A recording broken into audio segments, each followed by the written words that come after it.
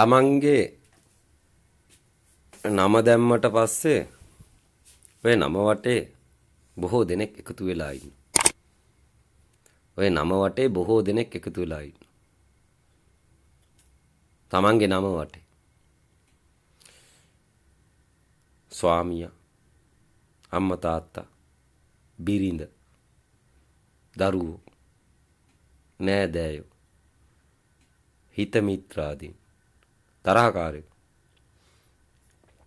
එකතු වෙලා ඉන්නේ ඔබේ නම වටේ වෙන. නමේ අනන්‍යතාවය පිහිටලා තියෙන්නේ ඔබේ මුහුණ තුල වෙන. මුහුණ ඔබට පේන්නේ නැති එක වෙන. නමුත් අනන්‍යතාවය සනිටුහන් කර ගැනීම සඳහා ඔබේ මුහුණ අනිත් කට්ටියන්ට අවශ්‍ය වෙන. ඔබේ නම තියෙන්නේ ඔබේ මුහුණ තුල වෙන. ඔබේ මුහුණ නැත්තම් අනික් කට්ටියන්ට අනන්‍යතාවය ඔප්පු කරගන්න හැකියාවක් නැති වෙන. මුහුණ අනිවාර්යෙන් අවශ්‍ය වෙන. නඩු වැටෙන්නේ කොහටද කියලා හුවොත් මූණට වෙන. බැනුම් අහන්නේ මොකක් නිසාද කියලා හුවොත් මූණ නිසා වෙන. නින්දා අපහාස විඳින්නේ ඒත් මූණ නිසා වෙන.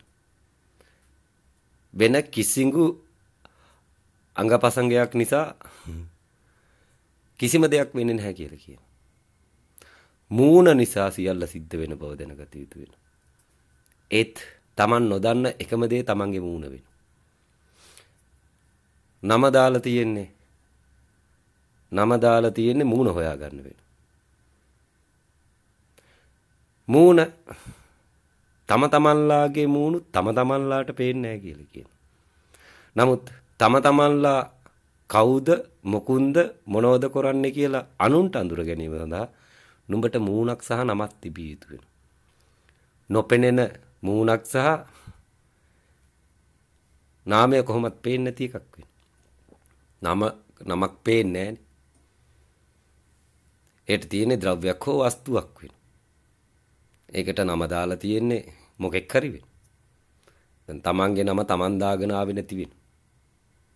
තමන්ගේ නම තමන් දාගෙන ආවේ නැති වෙනවා. ඉතින් gederin දැම්ම වෙන. උප්පැන්න සාතිකේ ලිව්ව වෙන. එදා ඉඳලා නම රැක ගනින් කියලා කිව්වේ ඔය නොපෙනෙන මූණ රැක ගනින් කියලා වෙන. ඔය නොපෙනෙන මූණ ආරක්ෂා කරගනින්. ඔය මූණ තමයි ලෝකේ ජීවත් වෙන්න තියෙන එක. ඔය මූණ රැක ගනින්. ආරක්ෂා කරගනින්. ඔය මූණ පරිස්සම් කරගනි. අනිත් මිනිසුන්ගේ මූණු වල දැලි ගාන්නේ නැති තත්ත්වෙන් ඔය මූණ තියාගනි. අපි නම ආරක්ෂා කරන්න ගිහිල්ලි වෙලා බොහෝ තැන්වල මූණ හංගගත්ත වෙන. නම රැක ගන්න ගිහිල්ලා බොහෝ තැන්වල මූණ හංගගත්ත වෙන. නමට වැරදුනොත් එහෙම දෙන්න බැරි වුණේ මූණ වෙන. තමන්ගේ නමට වැරදුනොත් එහෙම සමාජයට දෙන්න බැරි වුණේ මූණ වෙන. මේ මූණේ ප්‍රශ්නයක් තියෙන. මේ මූණේ ප්‍රශ්නය ලියා ගන්න පුළුවන් අංග දෙකක් තියෙන. තමන්ගේ මූණේ ගැටලු ලියා ගන්න පුළුවන් අංග දෙකක් තියෙන. එකක් ඇස වෙනවා විශේෂම කොටස ඔය මූණට අයිති කන වෙන. එකක් ඇස වෙනවා ඊට වැඩිය විශේෂ වෙන්නේ කන වෙන. කන. ඇහුම් කන් දෙන කන. අන්න ඒක විශේෂම කොටස වෙනවා. ඔත්තනින් වරද්දලා දුන්නොත් tamunට මොකක් හරි සංඥාවක් කණෙන් වරද්දලා දුන්නොත් මේ සමහර විට සමහරක් මිනිස්සුયો කියන්නේ හොඳ වෙන්න ඉඩ තියෙනවා. ඒක නිකන් ඇදේට හින්ට් එකට වගේ පේන්න ඉඩ තියෙනවා. ඒ කුමක් නිසාද කියලා අහනවා. ඒ ශ්‍රව්‍ය ආබාධයක් තියෙන නිසා වෙනවා. සියලු දෝෂවලට හේතු වෙන්නේ ඔබේ කන වෙනවා. මේ මූණේ තියෙන ප්‍රධාන අංගයක් වෙනවා. ඔය කන ඇතුලේ ඔබේ නම තියෙන. නම කියපු ගමන් සටස් ගාලා හැරෙන්න මටද කතා කරේ කියලා. මටද කතා කරේ. ඔව් උඹට තමයි කතා කරේ. වෙන නමක් කියනවා තමන්ගේ කනට ඇහෙන්න. ගානක් කන්න නැතුව ඉන්න වෙනවා. එතකොට නම මුහුණ යාබද කරලා හැදිලා තියෙන කන ඔබ හසුරවන බව දැනගත යුතු වෙනවා. මුහුණෙහි පවතිනා වූ විශේෂ අංගයක් වෙනවා. බෙල්ලෙන් උඩ කොටසේ පවතිනා වූ විශේෂ අංගයක් වෙනවා. Tamanට මේක පේන්නේ නැති වෙනවා.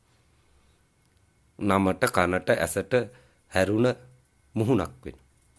රසට පහසට රූපයට ඇදී ගියපු මුහුණක් වෙනවා. Tamanගේ මුහුණ Taman දැක්කේ නැති වෙනවා.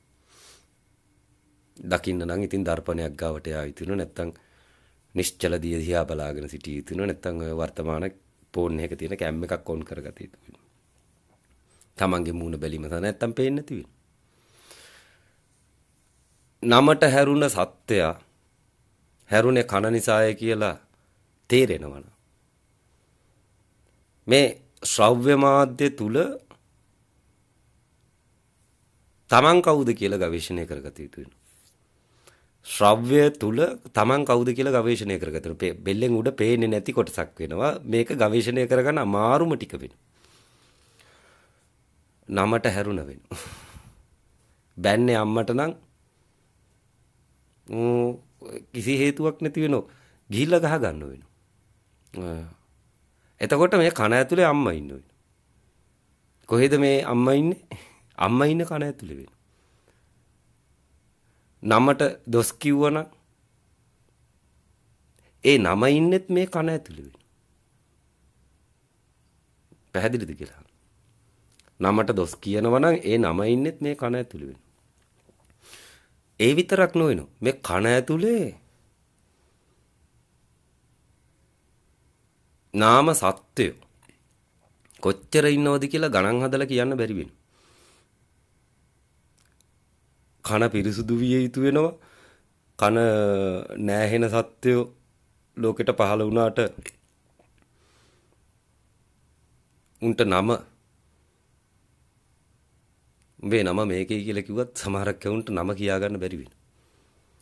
ඒ කියන්නේ බිහිරන්ට නමක් තියෙනවා.